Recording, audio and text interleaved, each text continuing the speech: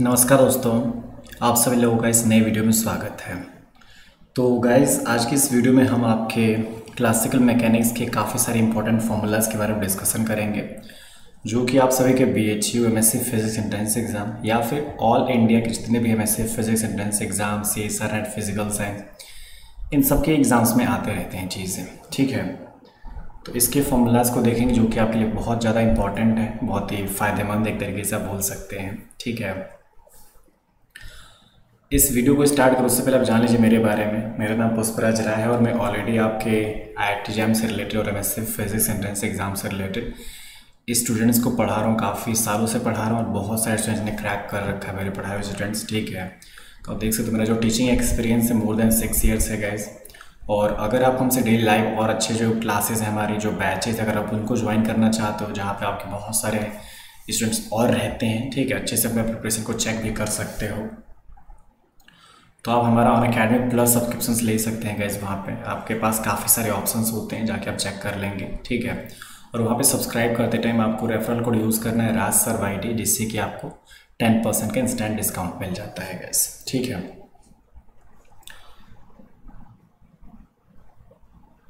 आपके फ़िलहाल M S physics entrance exam के बैच चल रहा है, ठीक है? और भी आपके M S C physics entrance exam के बैचेज चल रहे हैं और भी आपके I D physics twenty two के लिए भी बैचेज चल रहे हैं, जिनको आप इजीली जाके ज्वाइन करके अपने प्रिपरेशन को स्टार्ट कर सकते हैं गैस ठीक है?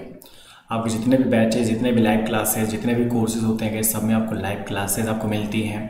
आप अगर लाइव क्लासेस मिस कर जाते हो तो हमेशा आपके पास रिकॉर्डेड सेशंस आपके पास अवेलेबल रहते हैं वीकली टेस्ट आपको प्रोवाइड करा जाता है। आपके स्ट्रक्चर्ड कोर्सेज रहते हैं, ठीक है? और आपको अनलिमिटेड एक्सेस दिया जाता है गैस वहाँ पर चलिए, सबसे पहले हम बात करते हैं हमारे पास, जो हेमिल्टोनियन प्रिंसिपल है हमारे कंजर्वेटिव सिस्टम के लिए। तो आप देख सकते हो जो भी आपके पास एक मोशन ऑफ़ द सिस्टम है टाइम टी वन से लेकर टाइम टी टू तक, ठीक है? तो इसको हम एक लाइन इंटीग्रल के द्वारा रिप्रेजेंट कर सकते हैं, वो क्या होता है आपके पास? I is equal to t one से लेकर t two L d t यहाँ पे जो एल होता है ये आपका लैग्रेंजियन होता है, ठीक है? इज़ इक्वल टू हम क्या लिख सकते हैं अपना? टी माइनस वी आपका होता है गैस यहाँ पे, ठीक है? और ये जो आपका वैल्यू होती है गैस जहाँ पे L is T minus V है और ये जो आपका एक लाइन इंटीग्रल है, ठीक है? यहाँ पे जो भी आपका सिस्टम मोशन में होता है, ये आपका क्या रिप्रेजेंट करता है? Is an extremum for the path of the motion ठीक है? ये एक तरीके से ना, जो भी आपका पाथ ऑफ़ द मोशन है, उसके लिए ये ना आपका एक्सट्रीमम रिप्रेजेंट कर रहा है गैस यहाँ पे, ठीक है? एक्सट्रीम वैल्यू ये आपकी रिप्रेजेंट कर रही है, ठीक है? उसके बाद अगर हम बात करते हैं जो भी आपका कंजर्वेटिव सिस्टम है, ठीक है? आपका लैग्रेंजिंग जो लैग्रेंज इक्वेशन है आपके कंजर्वेटिव सिस्टम के लिए, आप जानते हो d by d t of del L upon में del q j dot minus del L upon में del q j is equal to zero ये कंजर्वेटिव सिस्टम के लिए है।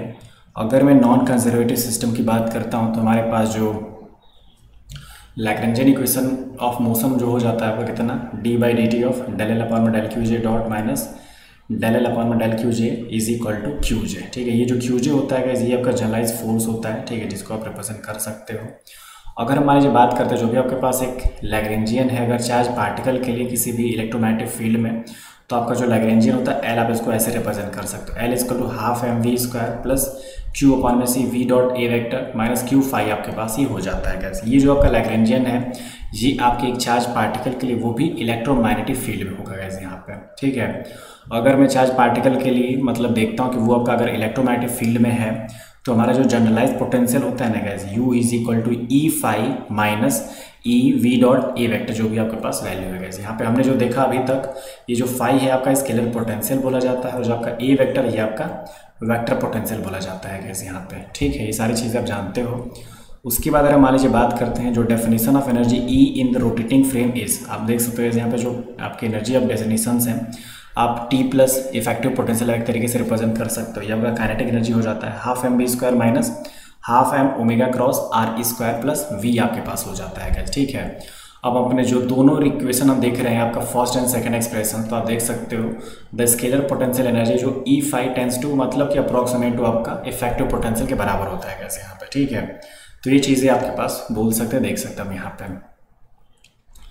अगर हम अपने लैग्रेंज इक्वेशन ऑफ़ मोशन का अगर एप्लीकेशन की बात करें तो जो हमारा लैग्रेंज इक्वेशन ऑफ़ मोशन होता है लीनियर हार्मोनिक ऑसिलेटर के लिए कितना होता है आपके पास? L is equal to half m x dot square minus one by two k x square होता है कैसे यहाँ पे, ठीक है? अगर मैं इसका इक्वेशन ऑफ़ मोशन निकालता हूँ, मान लीजिए तो m x double dot plus k x is equal to zero ये वही चीज़ है। बस आपको क्या करना था? हमने देखा था ना डे अपॉन में डी टी डी अपॉन में d t del L upon में del x dot minus del L upon में del x is equal to zero ठीक है तो आपको बस कैलकुलेट करना था एक बार। एक्स डॉट के रिस्पेक्ट में पुट करके वहाँ पे डी बाई डी टी यहाँ पर वैल्यू पुट कर दीजिए। और एक बार आपको एक्स के रिस्पेक्ट में डिफ्रेंशिएट करके यहाँ पुट कर देंगे तो आपके पास ये रिलेशन आ जाता है। ठीक है, और फाइनल आपका जो इक्वेशन ऑफ़ मोशन होता है लीनियर हार्मोनिक ऑसिलेटर के लिए कितना? X double dot plus k by m x equal to zero आपका। अगर मैं सिंपल पेंडुलम के लिए बात करता हूँ वैसे यहाँ पे, ठीक है तो आप देख सकते हो जो लैग्रेंजियन इक्वेशन ऑफ़ मोशन होता है।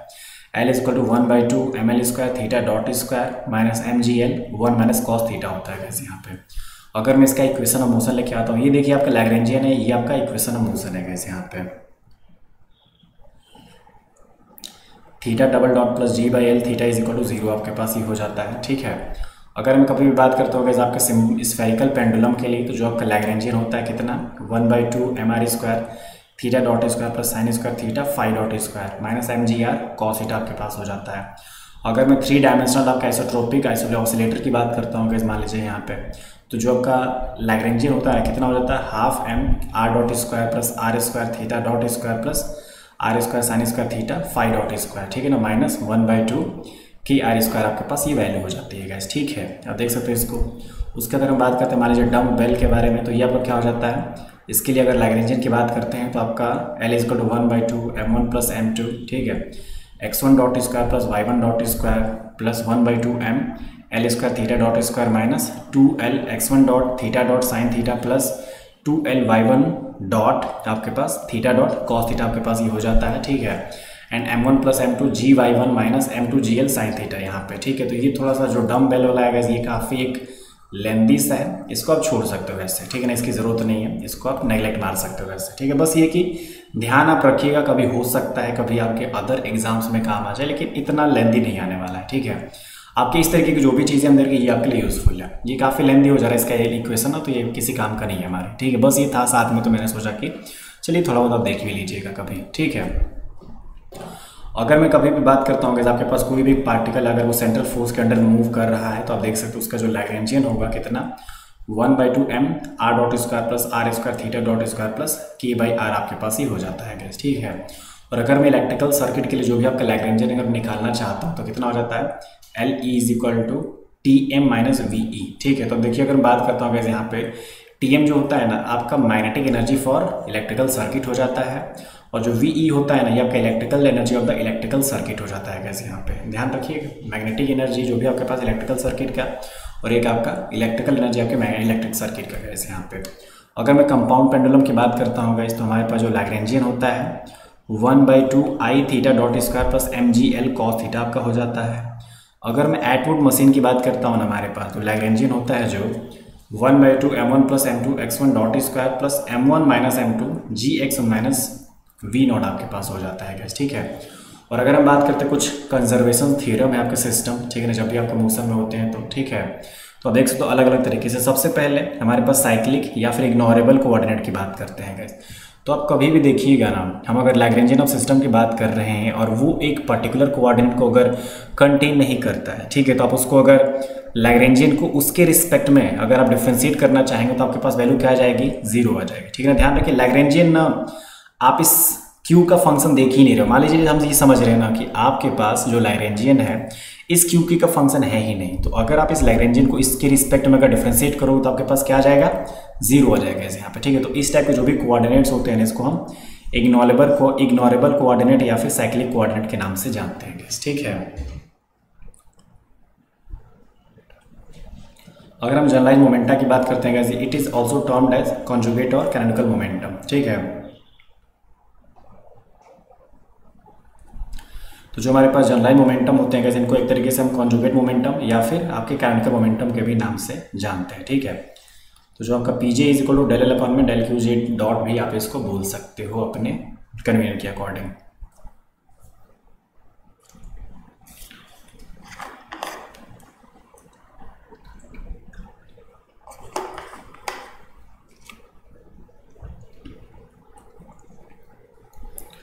इसके अगर हम मान लीजिए बात करते हैं कैसे यहाँ पे कंजर्वेशन ऑफ़ लीनियर मोमेंटम ये क्या हो जाता है आपके पास? If a coordinate corresponding to इस डिस्प्लेसमेंट इज़ साइक्लिक अब एक काम करते हैं ना, हमारे पास जो भी एक कोऑर्डिनेट है, वो अगर एक डिस्प्लेसमेंट को अगर करस्पॉन्ड कर रहा है ना, हम ये सपोज़ करें तो वो एक साइक्लिक कोऑर्डिनेट है, मान लीजिए, ठीक है? Description of system motion remain invariant under such a translational and linear momentum is conserve ठीक है तो हम यहाँ पे बात करते हैं कि यहाँ पे ना, जो भी आपके, जो उस सिस्टम का जो भी एक डिस्क्रिप्शन है तो उसका जो एक मोशन है ना वो आपका इस वाले ट्रांसलेशन में आपका क्या होता है इनवेरिएंट रहता है। ठीक है, आप सीधा सीधा समझ सकते हो यहाँ पे, ठीक है? तो यहाँ पे अगर वो पूरा का पूरा जो एक मोशन ही अगर वहाँ पे कांस्टेंट हो जाता है मतलब कि हमारे पास जो एक लीनियर मोमेंटम होगा ना वो आपका कंजर्व वहाँ पे हो जाएगा, ठीक है? अगर मैं कंजर्वेशन ऑफ़ एंगुलर मोमेंटम की बात करता हूँ वैसे यहाँ पे तो ये क्या हो जाता है? If a coordinate corresponding to a rotation coordinate is cyclic अब यहाँ पे आप देख लीजिए, मान लीजिए, कोई भी एक कोऑर्डिनेट ऐसा पकड़ रहा हूँ मतलब किसी एक रोटेशन कोऑर्डिनेट से तो वो मान लीजिए आपका साइक्लिक है, ठीक है? तो जो आपका एक कंपोनेंट होगा ना गैस अप्लाइड टोर्क का अलॉन्ग द गिवन एक्सेस वहाँ पे उसकी वैल्यू क्या हो जाती है गाइस ज़ीरो ठीक है? तो जब ये ऐसी सिचुएशन आती है, आपके टॉर्क की वैल्यू अगर ज़ीरो होती है तो हम वहाँ पे बोल सकते हैं कि जो आपका कंपोनेंट ऑफ़ एंगुलर मोमेंटम होता है ना उस एक्सिस के अलॉन्ग ठीक है, वो आपका क्या हो जाएगा? कांस्टेंट हो जाएगा, ठीक है? तो इसीलिए यहाँ पे जो आपका एंगुलर मोमेंटम है, वो आपका कंजर्वेशन ऑफ़ एंगुलर मोमेंटम बोला जा सकता है। बोल सकते कंजर्व है आपके पास ये वैल्यू अगर मैं कंजर्वेशन ऑफ़ एनर्जी की बात करता हूँ, मान लीजिए तो आपके पास क्या हो जाता है? यहाँ पे इसको वैसे तो हम हैमिल्टोनियन वाला भी फॉर्मूला बोल देते हैं। आप समेसन नंबर देख सकते हो q j dot p j minus L is equal to constant ठीक है? यहाँ पे H is equal to T plus V होता है, जिसको हम हैमिल्टोनियन के नाम से जानते हैं। और यहाँ पर अगर Hamiltonian chemical equation of motion की बात करते हैं तो q i dot is equal to del H upon में डेल पी आई और p i dot is equal to minus del H upon में डेल क्यू आई आपके पास वैल्यू हो जाती है ठीक है? अगर हम अपने हैमिल्टोनियन की बात करते हैं एक चार्ज पार्टिकल के लिए, ठीक है, वो भी आपके इलेक्ट्रोमैग्नेटिक फ़ील्ड में तो आपका हैमिल्टोनियन इज़ इक्वल टू कितना हो जाता है? Half m v square plus q phi आपके पास वैल्यू हो जाती है ठीक है? और इसी को अगर मोमेंटम के टर्म्स में लिखना चाहे तो आपके पास H is equal to one by two m p minus q by c A का होल इसका प्लस क्यू फाइव आपके पास करेक्ट आंसर आ जाता है गैस यहाँ पे, ठीक है? लिख सकते हो। उसके बाद अगर हम बात करते हैं वैसे यहाँ पर जो भी आपका कैनोनिकल ट्रांसफॉर्मेशन है तो इसके फोर जनरेटिंग फ़ंक्शंस होते हैं जिससे कि हम अपने मतलब जो भी आपका फ़ंक्शन है, उसको हम जनरेट कर सकते हैं, ठीक है? जो भी आपके पास एफ़ एफ़ टू ये सारी वैल्यूज़ दिए रहेंगे, ठीक है? तो आप देख सकते हो ना, हमारे पास चार जनरेटिव फ़ंक्शन कौन कौन से हैं? F one F two F three F four मतलब कि आपने जो स्टार्टिंग में पढ़ा था, जैसे कि क्यू पी आपके ये कोऑर्डिनेट्स थे गाइस मान लीजिए या फिर स्मॉल टी ठीक है? ये तीन आपके कोऑर्डिनेट है पहले से। इसको हमें कैनोनिकली ट्रांसफॉर्म करना तो ये आपका मान लीजिए कैपिटल क्यू कैपिटल पी ऐसा आपका नया वाला ट्रांसफॉर्म हो रखा है गैस यहाँ पे, ठीक है? तो मैं आप इनके कोऑर्डिनेट के हिसाब से अपने जो भी फ़ंक्शंस उनको रिप्रेजेंट करूँगा। जैसे कि कोई एक फ़ंक्शन होगा मेरे पास स्मॉल क्यू और कैपिटल क्यू का फ़ंक्शन होगा टाइम उसमें मतलब ऐसे फ़ंक्शन दिखेंगे। कोई ऐसा फ़ंक्शन होगा जिसमें कि स्मॉल क्यू होगा कैपिटल पी होगा टी होगा। कोई ऐसा होगा कि स्मॉल क्यू आपका स्मॉल पी और इस कैपिटल क्यू ऐसे होगा। तो ऐसे करके आप सारे के सारे जो भी जेनेटिक फ़ंक्शन है आप यहाँ से जनरेट करके अपनी वैल्यूज़ को निकाल सकते हो, ठीक है? अब यहाँ पर कुछ आपके फॉर्मेट है गाइस अगर आपको एफ़ वन एफ़ टू इन सब की वैल्यूज़ पता है तो आप यहाँ पे पी आई और कैपिटल पी आई मतलब small p i capital P i F two की अगर पहलू पता है तो आप यहाँ पे कैपिटल स्मॉल पे कैपिटल क्यू आई अपनी वैल्यूज़ निकाल सकते हो यहाँ पे गैस ठीक है? तो आप इसके हिसाब से सारे के सारी जो वैल्यूज़ है ना चेक कर सकते हो फाइंड आउट कर सकते हो गैस अगर हम अपना थर्ड फॉर्म देखें, यहाँ पे मान लीजिए third form is equal to जो भी आपके पास वैल्यू है Q i is equal to minus del F F three upon में डेल पी आई और पी आई इक्वल टू बात करें तो minus del F three upon में डेल क्यू आई आपके पास ये वैल्यू हो जाती है, ठीक है? अगर हम फोर्थ फॉर्म की बात करें ना गैस यहाँ पे जो भी आपके पास क्यू आई है minus del F four upon में डेल पी आई, ठीक है? और यहाँ पे जो क्यू आई है, इसकी वैल्यू आपके पास डेल एफ़ फोर अपॉन में डेल पी आई आपकी वैल्यू हो जाती है गैस ठीक है? इसको थोड़ा सा ध्यान रखिएगा। उसके बाद अगर हम बात करते हैं आपके पॉइजन ब्रैकेट के बारे में तो पॉइजन ब्रैकेट जो भी आपका एक्स एंड वाई आपके डायनामिकल वेरिएबल्स हैं तो आप क्यू और पी के रिस्पेक्ट में देखो तो निकाल सकते हो। डेल एक्स अपॉन में del q i del y upon में डेल पी आई ठीक है? डेल एक्स अपॉन में del p i del y upon में डेल क्यू आई ये आपके पास वैल्यू हो जाती है। अगर हम लैग्रेंज ब्रैकेट की बात करते हैं गैस ठीक है? तो क्या होता है आपके पास? आप देख सकते हो यू और वी दो भी आपने जो वेरिएबल्स ले रखे क्यू और पी के रिस्पेक्ट में, यहाँ पे क्या हो जाएगा आपके पास? डेल क्यू आई जैसे कि हमने ना, जो आपका पॉइजन ब्रैकेट करा था, हमने जो वैल्यूज़ आपके ब्रैकेट में रखी थी और यहाँ पे जो वैल्यूज़ आपके ब्रैकेट में है, ठीक है ना? ऊपर नीचे के पास यहाँ पे थोड़ा सा डिफरेंस होता है गैस यहाँ पे। जैसे एक्स वाई तो यहाँ पे ऊपर एक्स वाई आपका दिख रहा था, यहाँ पे यू वी तो इसके डिनोमिनेटर में आपका यू वी दिख रहा है गैस उसके अकॉर्डिंग ये सारी चीज़ें चेंज करेंगे, ठीक है? तो डेल क्यू आई अपॉन में del u del p i upon में del v minus del p i upon में डेल यू और डेल क्यू आई अपॉन में डेल वी आपके पास वैल्यू हो जाती है ठीक है? और अगर हम बात करते हैं पॉइजन और आपके लैग्रेंज ब्रैकेट के बीच में जो रिलेशन है, आप देख सकते हो एल इजकल टू वन से लेकर टू एन तक यू एल यू आई ठीक है? आपका जो ये पॉइजन ब्रैकेट हो जाता है मतलब ये आपका लैग्रेंज ब्रैकेट होती है आपका Poisson bracket u l u j is to del i j आपकी वैल्यू हो जाती है ठीक है? और हमारे पास जो इक्वेशन ऑफ़ मोशन होता है पॉइजन ब्रैकेट में, वो आपका कितना हो जाता है? Q i dot is equal to q i h या फिर p i dot is equal to p i h आपके पास वैल्यू हो जाती है गैस यहाँ पे, ठीक है?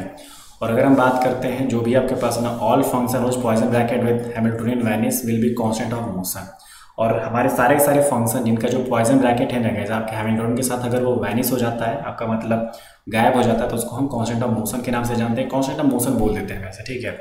And conversely Poisson bracket of all constant of motion with h must be zero ठीक है? और इसी के साथ ही साथ जो भी हमारे हर एक कॉन्स्टेंट के जो पॉइजन ब्रैकेट होते हैं ना जैसे हमारे मोशन वाले, वो एच के साथ क्या होना चाहिए? हमेशा ज़ीरो भी होने चाहिए आपके पास, ठीक है? तो ये चीज़ें आप ज़रूर ध्यान रखिएगा। आपके लिए काफ़ी हेल्पफुल होंगे गैस यहाँ पे सारे के सारे रिलेशन आपके, ठीक है? आई होप थोड़ा सा मैच कर लेंगे। क्या क्या चीज़ें हमने देखा है यहाँ पे, अगर बात करें तो।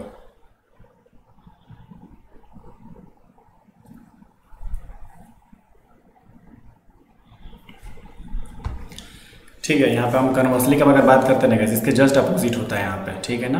ध्यान दीजिएगा आप लोग। हमारे पास जो भी चीज़ें होती हैं, हमने यहाँ पे देखा जितने भी हमारे फ़ंक्शंस हैं ना, वो Poisson bracket with Hamilton vanish will be constant of motion ये सारे के सारे आपके क्या हो जाते हैं? कॉन्स्टेंट ऑफ़ मोशन हो जाते हैं, लेकिन इसके जस्ट अपोजिट जाते हैं ना, हमारे जितने भी Poisson bracket of all constant of motion होते हैं, वो आपके एट के साथ अगर कर जाए तो वो सारे के सारे आपके ज़ीरो हो जाते हैं गैस यहाँ पे, ठीक है? तो ये सारी चीज़ें हैं।